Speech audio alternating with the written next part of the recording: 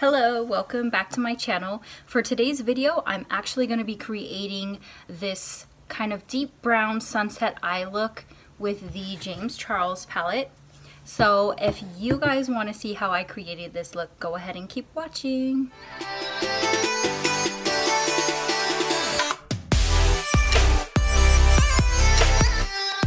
So for this look, I'm going to start off with the James Charles palette and I'm going to be taking this shade right here, this yellow shade called B, and I'm going to apply that into my crease in transition. These really are pretty pigmented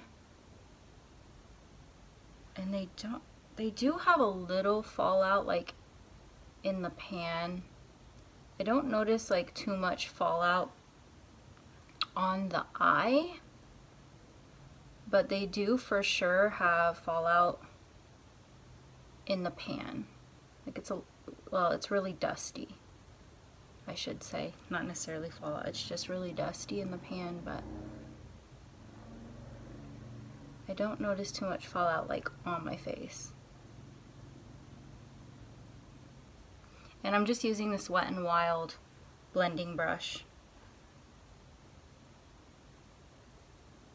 A little bit more until I get the shade that I want. Okay, I'm going to move on to the other eye.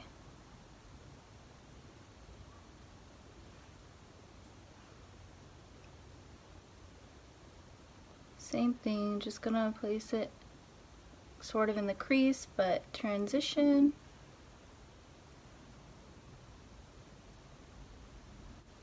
A little bit more.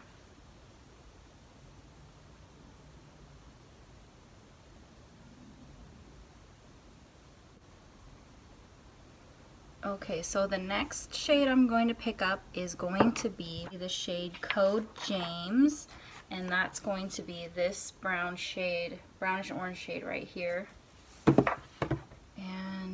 I'm going to just take an e.l.f. eyeshadow blending brush. Like I said, the crease and sort of up in the transition as well. Just kind of blending them together.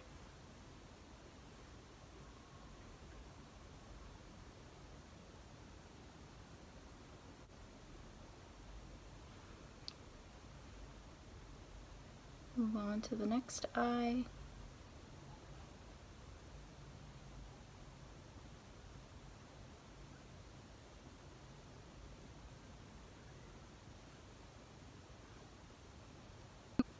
Although these shades are super pigmented, I really do tend to go a little bit light and just keep adding and adding and building up until I get the shade I want. I don't usually like to go in too heavy-handed because that's when I make mistakes.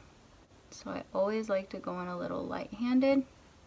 Okay, and the next shade I'm going to go into in my crease is going to be the one right next to that one called 10% off. And I'm just going to apply that with the same brush, kind of deepen it up.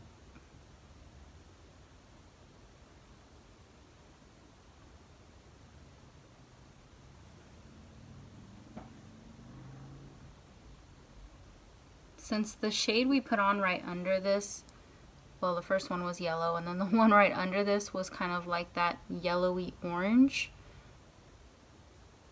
The shades are coming out kind of like orangish even though this one is kind of like a deeper brown but that's okay.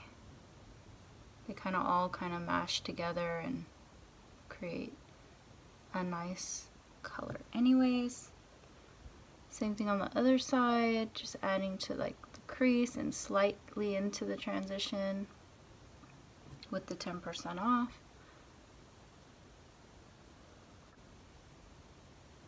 Okay, so now I'm gonna go in with the shade No Beans on my eyelid, and that is this shade right over here. It's the same, it's in the same row It's the darker brown right here. And I'm just to place that all over my eyelid. And I'm going to use this e.l.f. eyeshadow C brush to do that. So I'm just to start placing it all over my eyelid. Just deepening it up.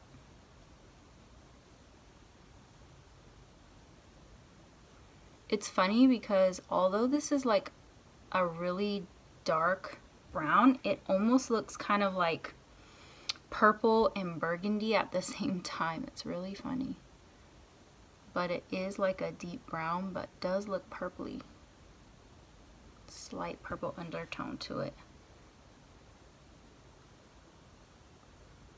I like this eyeshadow C brush because of the shape. It's like fluffy, but it's really flat. And I can really get into the crease like this, like to do my eyelid when I want to carve out where my eyelid color is. That's what I really like about it. So I'm just like kind of packing it on and then just moving it around where I want it. Just deepening it up and getting the shade I really want it to be. Again, just moving it back and forth. It's like brushes like this make your life so easy because it just fits right into the crease and you just can go back and forth. Very convenient and easy.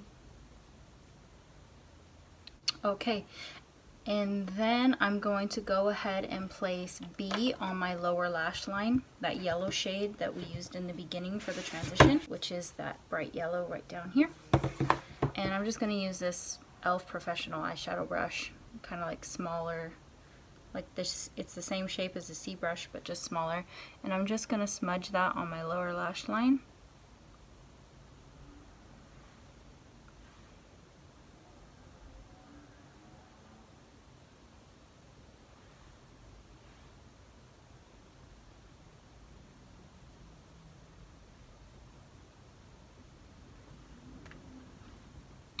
Then I'm going to take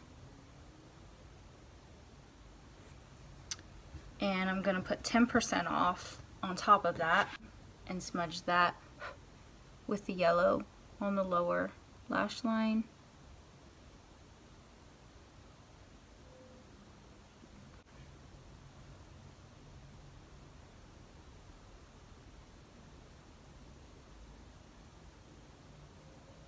Okay. Then I'm going to take this eyeshadow, this flat eyeshadow brush from e.l.f. and I'm going to put that same bright yellow, the B shade, on my inner corner to brighten it up.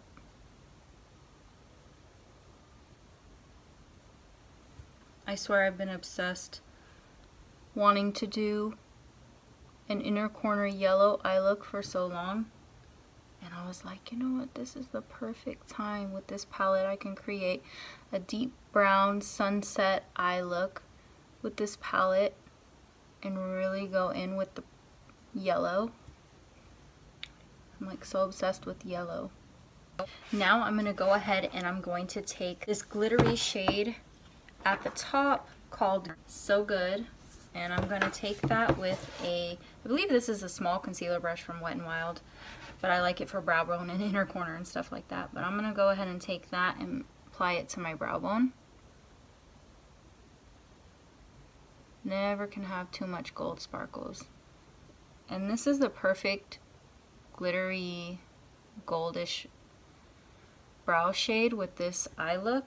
It matches perfectly. All the golden kind of like pops out. I'm also wearing a gold highlighter today.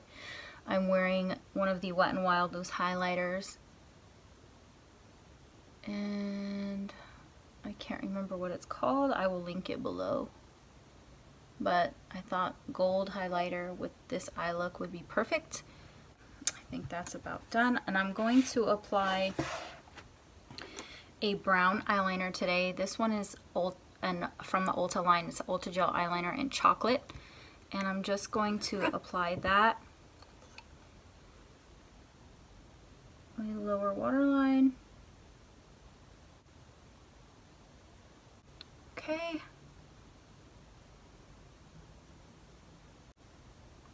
Alright, I'm gonna go ahead and apply my mascara off camera and I will be right back. Okay, I applied my mascara and this is the mascara I used. I typically reach for this all the time. It's the L'Oreal Voluminous Lash Paradise.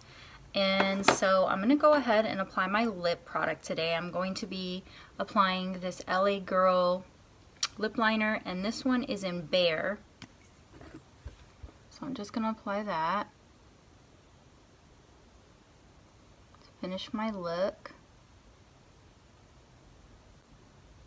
I'm going nude with the lips since my eyes are so bold. But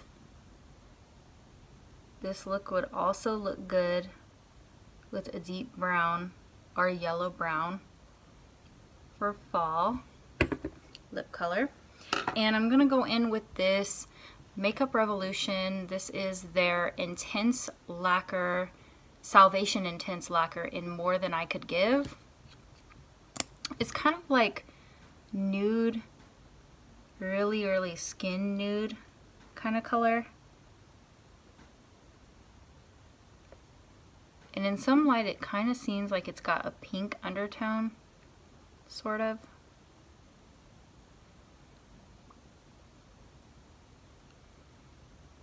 Okay. And this is the final look. I hope you guys enjoyed getting ready with me creating this look with the James Charles palette. And I've been really inspired with color and I thought I'm going to create kind of like a fall, kind of deep brown sunset eye look with the palette. And please don't forget to like and subscribe before leaving and I will definitely see you guys in my next video. Bye!